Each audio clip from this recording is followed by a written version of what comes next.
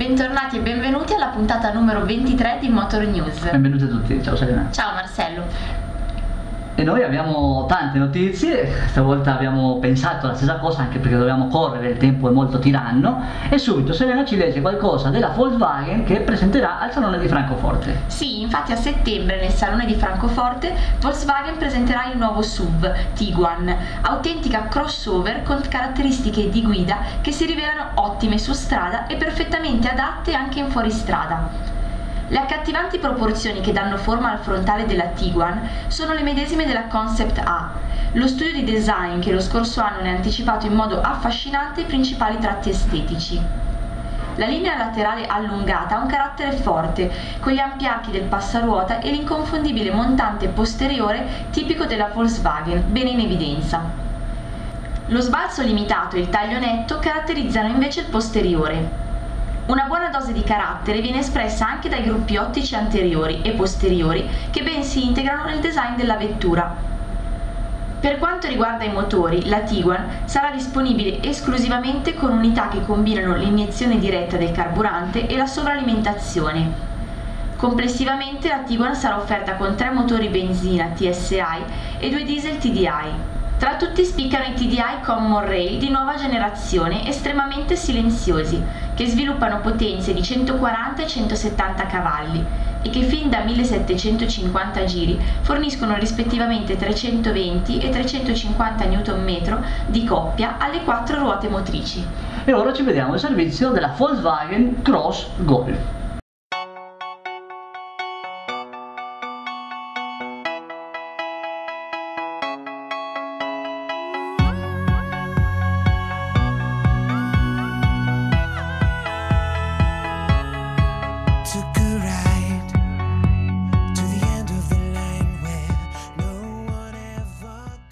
La nuova Volkswagen Cross Golf è stata rivista nel design ed ora si può considerare sia un SUV compatto che una piccola multipurpose vehicle.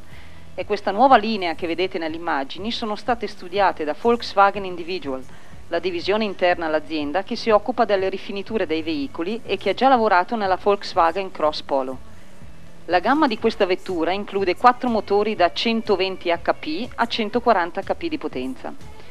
Mentre SUV è l'acronimo di Sport Utility Vehicle e questa denominazione è dovuta alle diverse possibilità di impiego del tradizionale off-road, MPV, che come detto precedentemente è il Multipurpose Vehicle e viene riferito alla possibilità di impiego come van. Per ottenere queste caratteristiche, il telaio della Cross Golf è stato modificato rispetto a quello originale della Golf e con il variabile spazio interno di fatto la vettura non possiede nessun concorrente diretto nel suo segmento.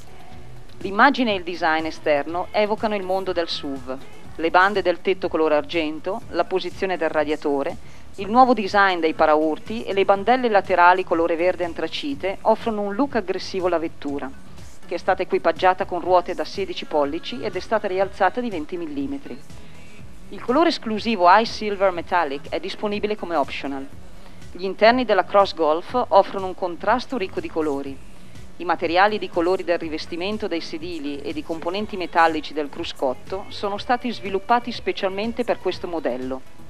Volanti in pelle, pedali con look in alluminio e il climatizzatore di ultima generazione sono parte dei generosi equipaggiamenti interni. Per quanto riguarda la gamma di motori, sono previsti due propulsori a benzina e due diesel. Questi ultimi erogano potenze di 75 kW e 77 kW, mentre i motori a benzina erogano la stessa potenza di 103 kW, ma l'iniezione diretta di benzina del motore TSI offrono una coppia eccezionale e agilità nelle caratteristiche del motore. Sia il motore TSI che i motori TDI possono essere equipaggiati a richiesta con doppia frizione sistema DSG come optional. Come gli altri modelli Golf, la Volkswagen Cross Golf è stata equipaggiata con il sistema ESP, programma di stabilizzazione insieme ad altre funzioni che agiscono sullo sterzo, sui freni quali ABS e 6 airbag inclusi come equipaggiamento standard.